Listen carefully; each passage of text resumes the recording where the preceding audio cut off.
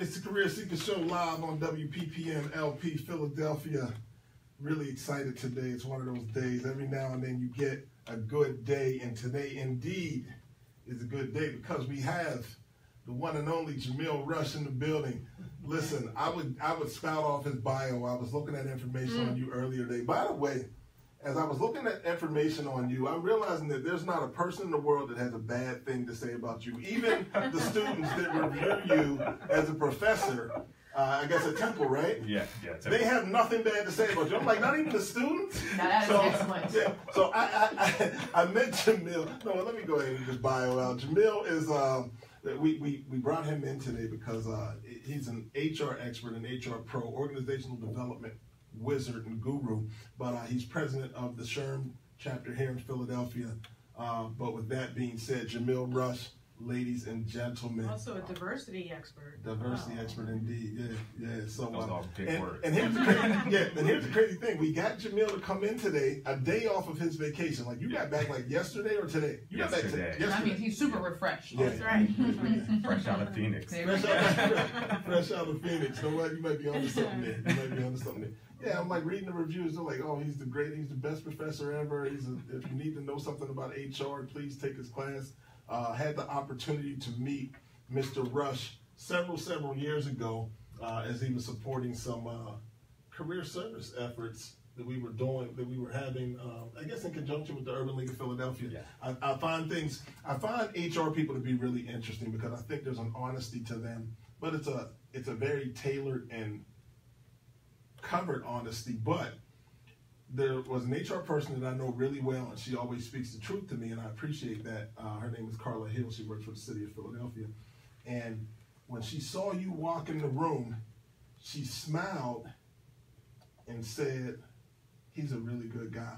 And, and, and I was like, you know what? That's that about sums it up. that about sums it up for me. It's, you know, it's There's a true. lot of love in this room for. Yeah, so so let me introduce you real quick. Uh, Tiffany Southerland.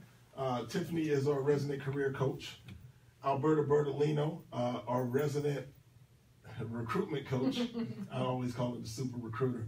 Uh, but uh, you guys have a lot in common We did. as well. You guys played on the same field, uh, I guess, for a little while. Not at the same time, though.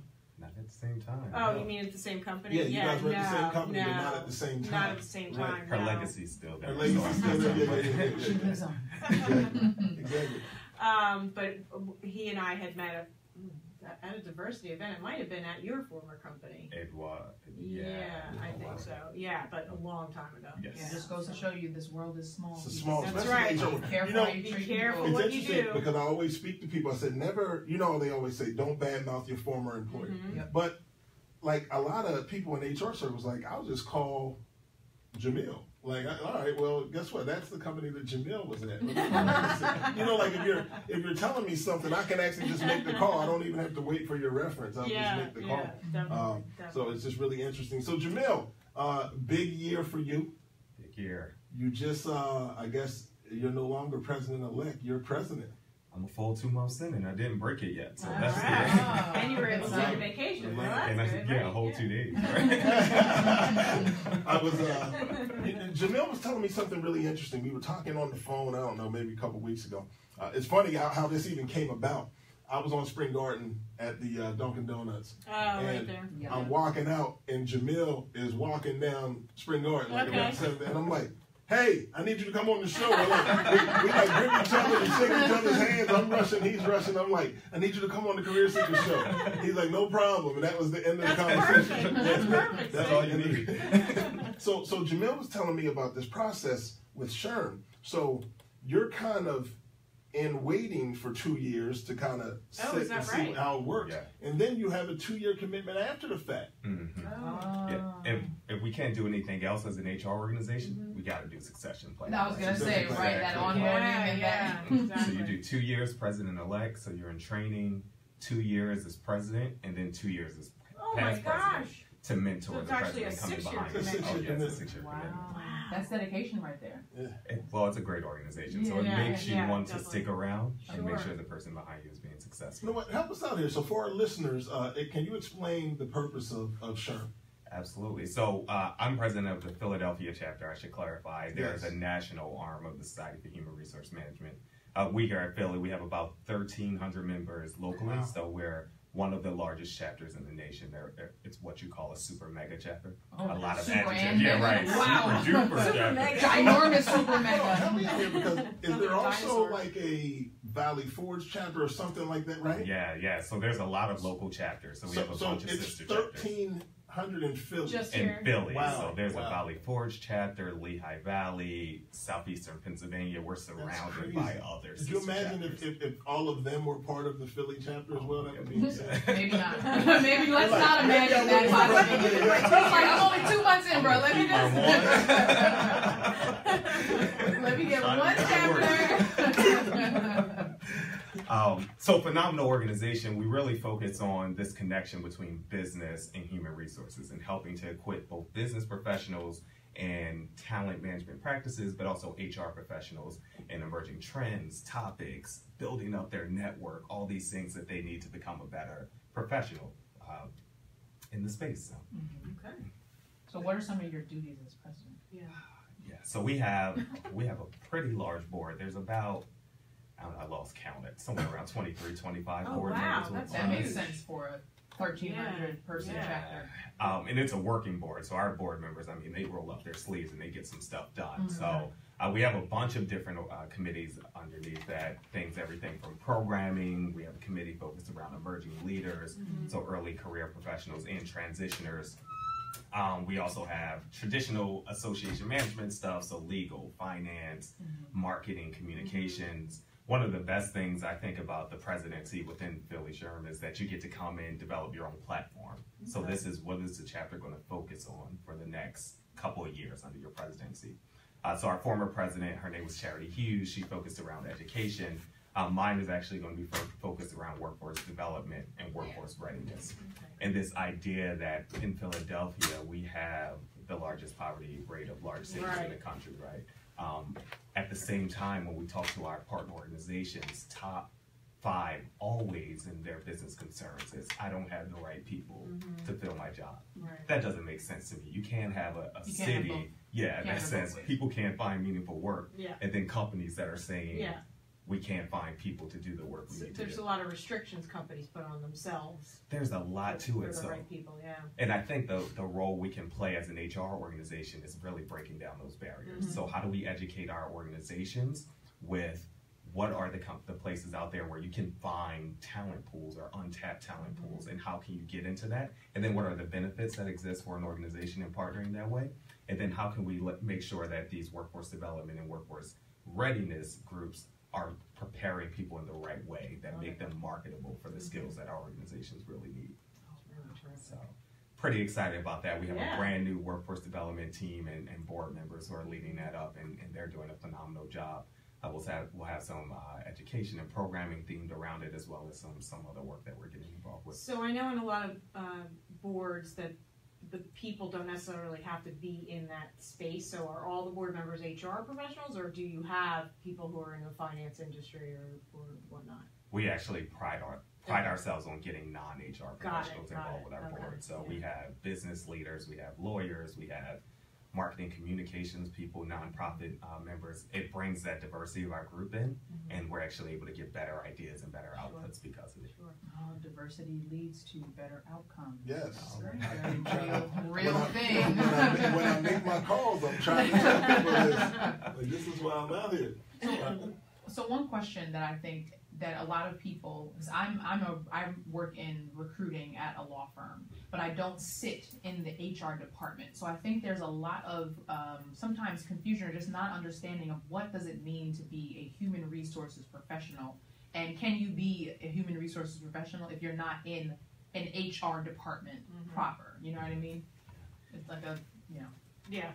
Disconnect. Yeah. okay. Yeah, and I, I don't think you need to sit in HR to be in HR. Honestly, I don't think you need to have an HR title to be in Right, HR. yeah, we talk valid point. a Yeah. lot about small businesses where you have one person who's playing the role of HR, finance, Mm. marketing, Legal. communications, Right. legal, Yeah. CEO, all of that, right? Yeah. And so the idea that what we talk about from a SHRM perspective is practical for business leaders. Mm-hmm. And we try to talk about framing in that light to say this is for business leaders, not just HR titles or HR professionals Right, right, right. And, Yeah. uh, just, I want to kind of venture back into this diversity piece, uh, are you the first African American male president at SHRM? I know before you, Gloria, and I think Charity is it Charity? Charity. Charity, yeah. and then Gloria. Yeah. Are you the first Yeah. black male president? Uh, that I can remember. I don't know if that's true or not, but certainly in my in recent times Yeah, around and, there. and, and you, well, you've been telling me you've been involved since college with with this ch- this chapter here. I have. So I've been involved for the last 13 years or so, I Mhm. think. So I, I got involved my um, sophomore year in undergrad in the Temple University chapter of it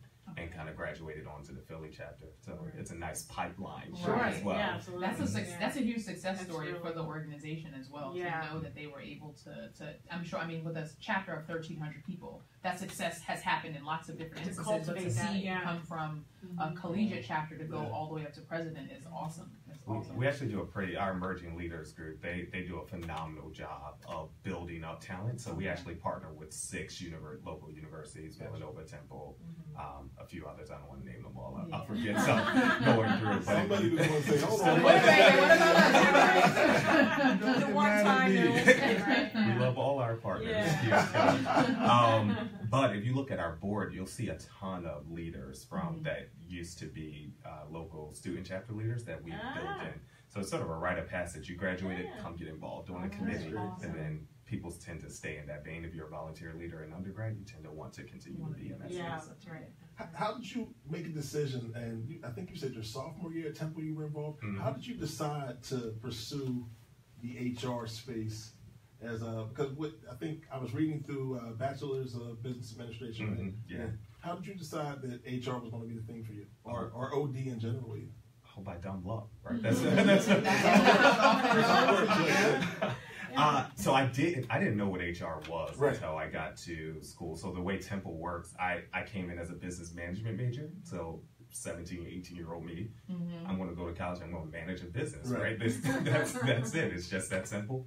Uh, so Temple told us on our first day in orientation, all of you who are business management majors, that's not a real major. And you need to pick You have to something pick to a track. actually focus Mhm. on. So whereas I thought my life was figured out at 18 years old, I was throwing a monkey wrench. Little did you know. Little did I know there's a real world out there.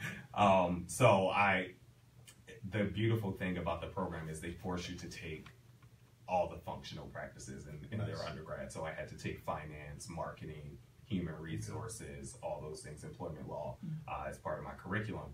And then with that, I took this HR course, uh, organizational leadership. And it was the first time ever out of all those classes that anything appealed to me. And this idea of managing the human resource within the Mm, company, right? okay. So Gotcha. that's your role of optimizing it. So SHRM was actually the reason I picked it as a major. I got involved with SHRM to understand the profession Okay. more. Oh, and that's how I decided, yeah, I can do this Yeah. longer term. It's one of those things where it's uh, you know, you speak to your children about this, and you say, just go, just get in the game. Yeah. Like you don't have to figure it all out at the beginning. Yeah. And and you know, even as I work through some of these employment programs, and I want to speak to you about some of the things that you guys have going on. But uh, a lot of times, everybody wants to make that decision right now, and I'm look, you're 20.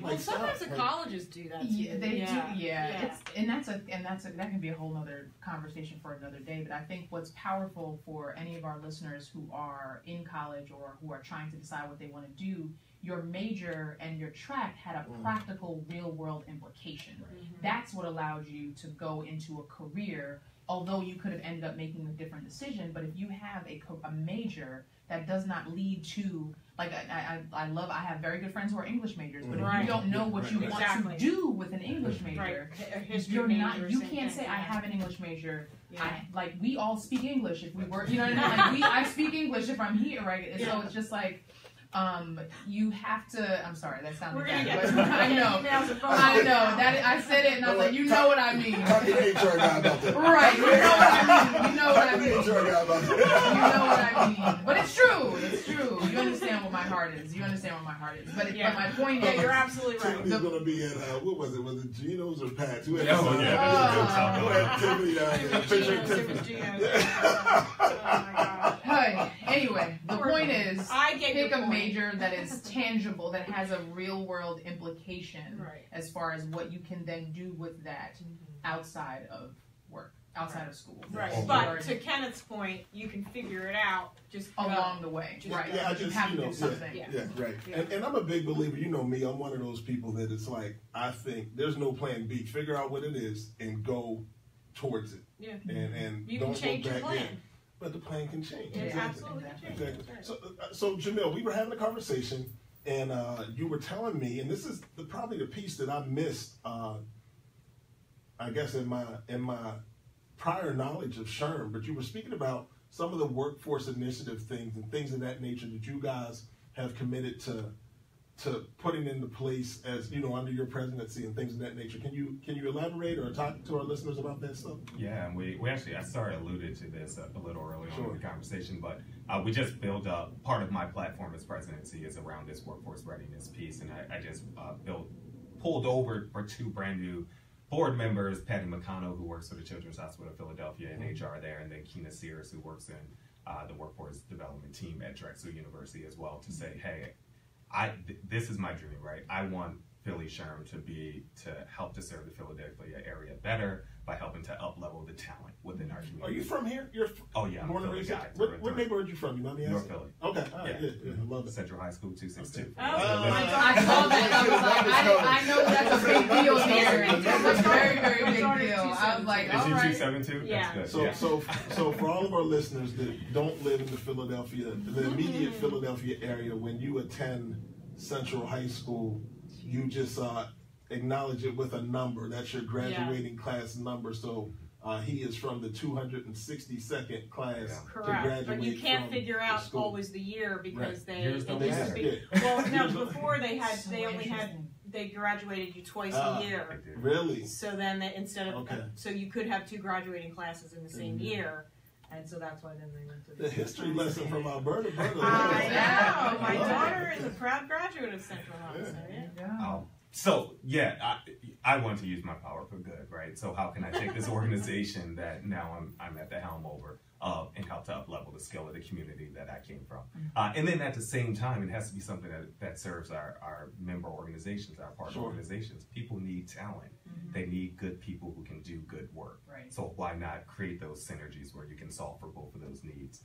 Um, so we've been getting involved in a few things. We're really right at the cusp of it right now. Um, serving with the Commerce Department has a new workforce development committee that they've been pulling together. So Philly SHRM is a part of that. We actually have a program that's going to be going on in October. That's going to be a, a bunch of panelists from the workforce development community talking to our membership about how you can create these talent pools and tap into this untapped talent market. And we'll have additional programming around it and hopefully be pulling together some focus groups within HR to talk about some of those barriers that exist now and talk about how we can remove them for the people who are doing this work. So I'm very tired just thinking about That it. sounds, it sounds so, it's such important work. Yeah. It's such a big undertaking, but absolutely necessary. You know, I do think that, uh, you know, with you being from North Philadelphia and just some of the things I've seen through working with uh, Project Home and Mike Robinson from Temple, uh, Temple's commitment to righting the ship, in a sense, I guess, in North Philadelphia is very Mhm. admirable.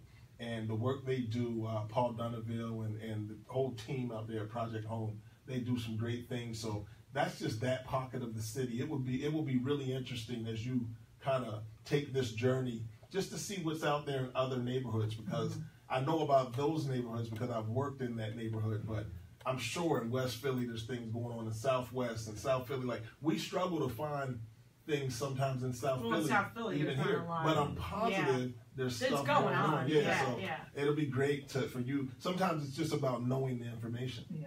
people having the it. information. And one of the big uh, initiatives that we'll, we'll be will be done this year, I want to claim it. Uh, we're talking about uh, this repository of this type of information. So how do we get a place where Oh. everyone who's looking to tap into these workforce That's so development good. initiatives can go right You away know, and say, you know I'm it's looking for- October, right? It's yeah, that's right. oh, I, oh no, I should say Philly SHRM year. Sure. That's September to June fiscal year. All right, so you got that June, all right, I Not calendar, not calendar. Patty and That's Keenan are somewhere good- like when? That's a very good, very good point. Big I love it. Um, I have a question that actually somebody asked me today, Okay. and I said I was going to save it for the show. So she has her bachelor's, and she has been considering whether to go for her master's in HR or just get the HR certification. And I know you have a lot of it. So, so, so, what do you think they should do? What, that is a great. No, I'm just playing Oh, with you. that's a I'm just playing with She you. does not want to be recruiting, believe me. She does not. I'm just playing with She you. does not. That's so funny. I would, I'd be fine with it if she wanted, but anyway, but, uh. You know, and you know that's an interesting question. I short answer, I don't think there's a one size fits all for Mhm. everyone. Uh, I did my certification first, and then went to get my Okay. my master's afterwards. Uh, I think it's about what's going to help you the most in your career. For me, I had an undergraduate major inside of human resources, so getting the certification was an easier step for me Mm-hmm. because I had this foundational knowledge within it. If you didn't major in HR, uh, She to- did. she did. Actually, Yeah. um, So for her, it might be easy to go straight into that certification. Certifications do require a certain um, experience level Right, within it. So if you don't have those years of We can only get experience, the, the smaller, You- yeah, certification. or in some cases, you, you have to get the student level Right. within it. So uh, for her to decide where am I at in my career, Mhm. uh, which one makes the most sense right now, which certifications am I actually eligible for Mhm. at this point in time, and which one's going to be most marketable for me Yeah. based on what I want to do. It's probably all part of the decision. Okay, I making told, I said the same thing.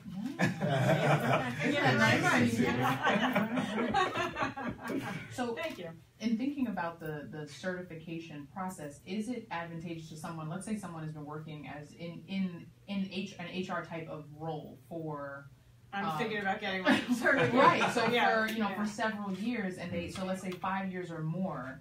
Um, what advantages do you have to getting the certification at a later stage in your career when you've been doing this work for for some time?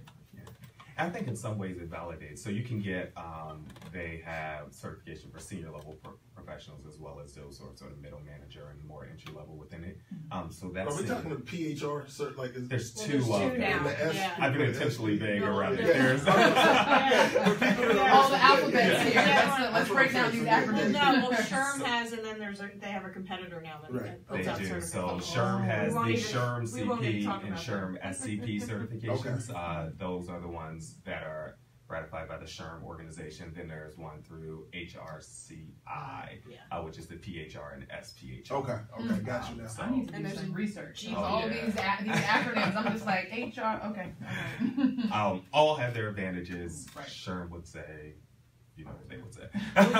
You're SHRM, so I'm sure, yeah. So, uh, so within that, it it's all about just deciding about which one makes Mhm. the most sense for you at that point in time. Could Right. Right. Um, so I'm thinking about, uh, you know, pivoting into pure HR. So um, I've, you know, as a recruiter, you're kind of that anyway. Mhm. Sometimes you have to know a lot about it anyway, Yeah, you, yeah. the legal aspects of it, and and um, when you're hiring people in, from out of state, and you're an employment, you know, um, engagement manager too, because a lot of people will come to you since you're their first contact, and Mhm. so I've just been thinking, why not get my certification now? So. Go for it. It Yeah. is very good for someone who might have focused on a specialty for Mhm. a long point in time, Uh, right. and you want to show I have a broader body of knowledge. Sure.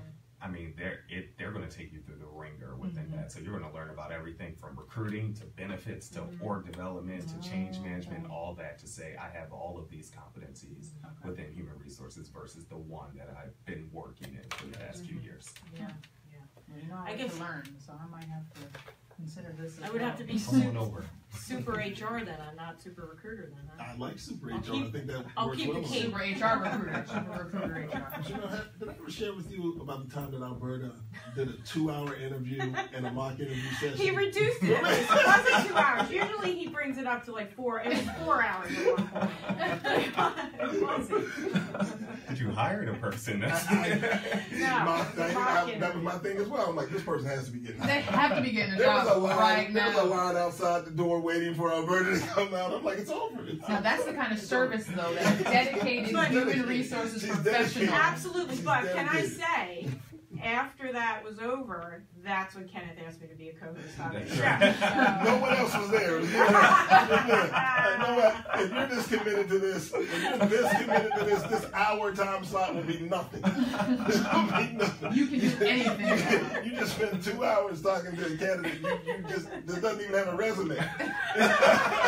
so this this one hour time slot will be nothing for you. I love her. I love her. It Proud was of great. It was great. Jameel's done those mock interviews for us as as well. Yeah. He's came out and done information sessions. So They're he's, great. They're really he- great. Hey, You know what? Is there any advice that you have out here for somebody that that you know? I, I guess we were just speaking about this, like someone that's trying to come up through the ranks in HR. Hmm. Uh, do you have any advice for them as far as how they should structure? I guess even their education. We're on this big internship kick right now. Uh, if you have any advice about seeking out internships, uh, I think our listeners would love to hear that. Yeah. Um, and I think the biggest advice I give to all students when I speak to them about it is you can't rely on school to get you a job, right? It's that's price of entry. You gotta go to school and get good grades, right? That's just to get you into the career services bank when Sure. you're going through. Okay. Um, it's really about building your network up from the beginning. So the biggest advantage for that all the me going through school was um, not necessarily that I was taking all these HR courses, which were great, but from my sophomore year, I was involved in a professional organization. I got all three of my internships in under undergrad through connections within that organization. Oh, Yeah. I got my full time job and through that organization. I got my next full time job through connections that I made in that way. So you need to know at an undergrad level, you should know 15 to 20 people working in your field of practice Mm. that you can call readily. Not just when you need something, that you actually have an authentic relationship with. So that means mm-hmm. you got to be talking to them and sowing into that relationship the entire mm-hmm. time so that when it's time for you to ask for a job, they'll say, "Yeah, I'll recommend. I'll recommend Tiffany over. I'll recommend Right. Ken over because I know them." Versus, "Yeah, I met you for thirty seconds at a career event." And it's so Yeah. it's it's so much more convenient now with LinkedIn and some of the tools that are out here that allow you to stay connected to a Mhm. person. Mm-hmm. Because before you could meet someone at a networking event, Get their you might never card. see them Yeah, again. Right. Mm-hmm. But now, even if you don't see them, you can see them virtually and see what's going on. And you can the make world. a note Yep. of how you met them and Right. when and But yeah. that's a gift and a curse, though, and you, and maybe you can speak to this in your experiences. You've gone from from students and now being probably hiring people and develop, building a team. Is that people rely on the convenience mm. as the proxy for relationship. Just as we're connected on LinkedIn does not mean I know who you are. No, right, That's indeed, and right, right, that's yeah, and I think get a that that's where that. because if you have I heard this crazy story we won't go into too much detail. I'm sorry. I, I'm a se- I heard this First term. I'm a senior batch. millennial. Right here we go. Generation. We need some generational diversity conversations around here. But um, but I heard this um, the story of this this these two people were developed a relationship on Snapchat by sending each other Snapchat like back and forth, right? So the, the so I say that to say as a backdrop to thinking that that's how you develop Yeah. a deep relationship, but how do you develop a deep relationship if if I'm like, oh, I met you on LinkedIn and can you give me a job? Yeah, But, yeah. but it you know, Tim, so, I yeah. think that's the thing. That's the separator. Mm. There, there are people that leverage multi-tiered approaches Mhm. to networking. Mm-hmm. So you can't just be the person that's sending something on LinkedIn. You got to show up Yeah. Mhm. as well, and then those will be the people that move forward and be, be involved in organizations and things of that nature because you're going to know there'll be a there'll be a relationship. Yeah. Jameel probably goes to an event and he probably gets 15 LinkedIn invites when he leaves, right? Yeah. So how do I that. know who these people are? I don't, Mhm. but I, I did probably meet you. I'll know that much. Mhm. But then if you show up again, Right, that's right. you know, and then you show up Remind again, me yeah, yeah, how. right, right. Remind or, me. or if you met. send Jameel an email saying, "Hey, I just heard you on the Career Seeker show. That was great." Mhm. How do I get on the show? Right. and that's true, right? It's all about building those relationships and, and sowing into them. If you send an email, and it doesn't, it shouldn't be daily. No one wants to be emailed. Don't Yeah, that right. guy. Draw that line. be that Draw that Every line. few Yeah. months, just say, hey, just want on. to see how everything was going. This is what I'm studying. Would love if we could get out, get together for coffee. The person might say, I don't have time right now. They might not even respond in some cases, but the idea that I'm going to put that energy in to show you that I want to build my network Sure. within it. And Right. every once in a while, you're going to get that person that you really connect Yeah. with, that's Yeah. really going to be a good advocate, sponsor, or mentor for you. And that person will be able to help you and guide you through your search. I like that you make that distinction: advocate, mentor, Yep. sponsor, Mhm. Yes. and there are differences. There differences. Could you Take us there, briefly yeah.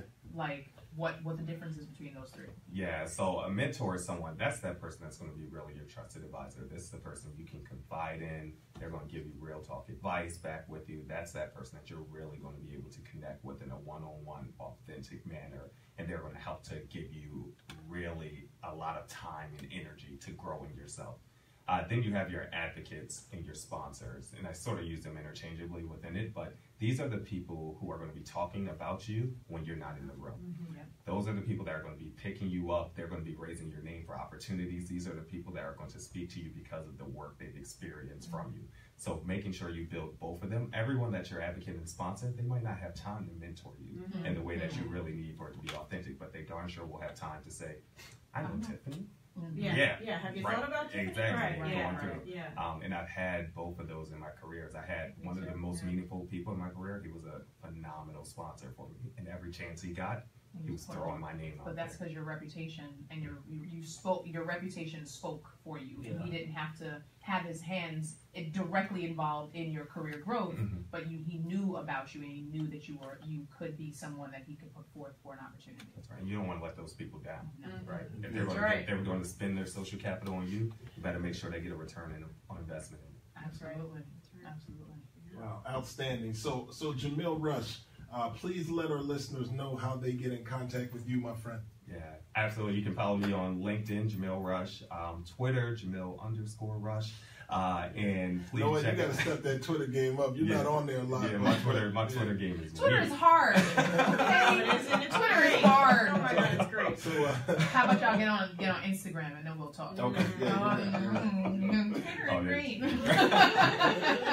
um, but absolutely go to, I encourage everyone to go to the Philly SHRM website, www.phillyshrm.com. Check out our events, upcoming, upcoming programs. And you guys have an upcoming event that's pretty big. It's it's like pinned pinned on your site right now. What is that? Uh, yeah, our next event will be coming up is October 26th.